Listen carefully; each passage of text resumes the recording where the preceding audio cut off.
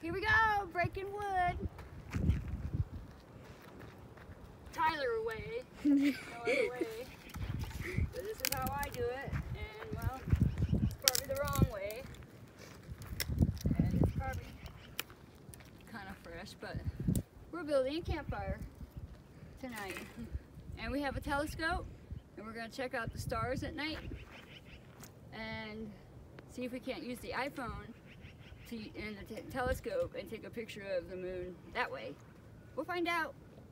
But for now, I'm gonna break some wood, put it in here, and get ready for campfire.